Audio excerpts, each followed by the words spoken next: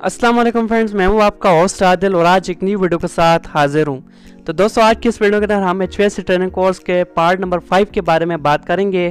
तो दोस्तों, अगर आपने पार्ट नंबर वन टू और थ्री फोर नहीं देखा तो इस वीडियो के नीचे दोस्तों आपको डिस्क्रिप्शन में उनके लिंक्स मिल जाएँगे। तो दोस्तों, वो भी आप जाकर देख लें ताकि दोस्तों आपको इस कोर्स की स्टेप बाय स्टेप समझ आती जाए। तो दोस्तों, आज हम पार्ट नंबर फाइव के बारे में बात करने वाले हैं। तो वीडियो स्टार्ट करने से पहले दोस्तों, आपसे एक छोटी सी रिक्वेस्ट है। अगर आप इस चैनल पर न्यू हैं या इस वीडियो पर पहली बार आ रहे हैं तो इस वीडियो के नीचे आपको रेड कलर का सब्सक्राइब लिखा हुआ मिलेगा। आपने उस पर क्लिक कर देना है और साथ दोस्तों बेल आइकन भी होगा, आपने उसको भी प्रेस कर देना है। ताकि मेरी जो भी दोस्तों न्यू वीडियो आएगी, उसका नोटिफिकेशन आपको उसी वक्त मिल जाएगा। तो चलिए दोस्तों, आज की वीडियो को स्टार्ट करते हैं।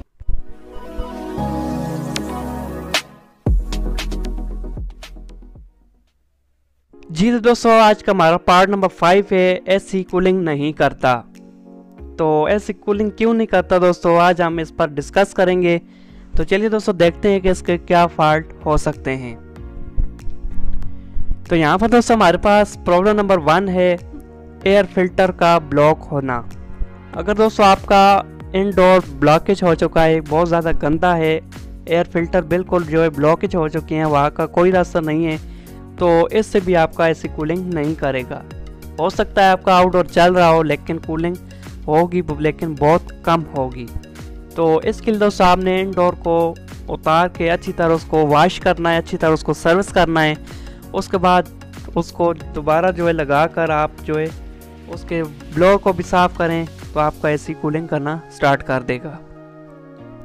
नेक्स्ट दोस्तों प्रॉब्लम नंबर हमारे पास टू है, बैरूनी हवा का कमरे में आना। तो यहाँ पर दोस्तों मसला ये भी आता है कि अगर आपका कमरा जो है खुला हुआ है, उसकी जो खिड़कियाँ हैं जो रोशनदान है, वो दरवाज़ा बार बार खोल रहा है तो इससे भी आपके जो एसी की कूलिंग है वो निकलती रहती है। और दोस्तों जो बाहर से आने वाला बंदा होता है, वो कहता है कि ऐसी कूलिंग नहीं कर रहा। लेकिन कूलिंग हो रही होती है। बहरहाल वो अगर कमरे के दरवाजे आप बंद रखेंगे तो आपका जो एसी है वो अच्छी तरह कूलिंग करेगा। नेक्स्ट दोस्तों, हमारे पास प्रॉब्लम नंबर थ्री है, गैस का लो होना। अगर दोस्तों आपकी गैस लो हो चुकी है तो तब भी ऐसी कूलिंग नहीं करेगा, काम करेगा। तो इसके लिए दोस्तों आपने गैस को 65 से लेकर 75 तक आप इसको, गैस को फुल करें। अगर आपके पास आर बाईस है तो इसके बाद आपका जो एसी है, वो अच्छी तरह कूलिंग करेगा। नेक्स्ट दोस्तों, हमारे पास प्रॉब्लम नंबर फोर है कंप्रेसर का कमज़ोर होना।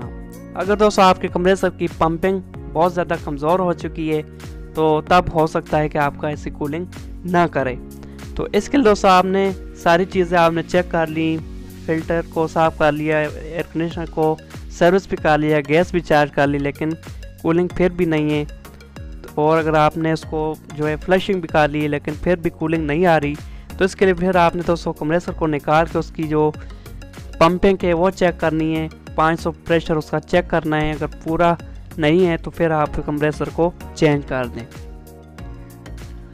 नेक्स्ट दोस्तों, हमारे पास प्रॉब्लम नंबर फाइव है कंडेंसर पर से हवा का गुजर ना होना। तो यहाँ पर दोस्तों वही बात है, अगर आपका एयर कंडीशनर आउटडोर कहीं ऐसी जगह पर है जहाँ पर उसके आगे कोई दीवार है या उसके पीछे से बिल्कुल वो टच है दीवार के साथ तो तब भी आपका ऐसी कूलिंग नहीं करेगा।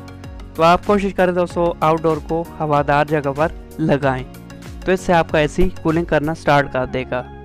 और इसके बाद दोस्तों ये भी प्रॉब्लम्स हो सकती हैं, आपका जो ब्लोअर है उसकी स्पीड भी कम हो सकती है या आउटडोर में जो फ़ैन लगा होता है उसकी स्पीड भी कम हो सकती है तो आपने ये भी चेक करना है।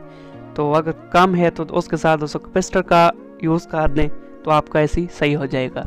तो उम्मीद करता हूँ दोस्तों, आज की वीडियो भी आपको पसंद आई होगी। दोस्तों, वीडियो पसंद आए, वीडियो को लाइक, कमेंट और शेयर ज़रूर कीजिएगा। मिलते हैं दोस्तों नेक्स्ट वीडियो के साथ।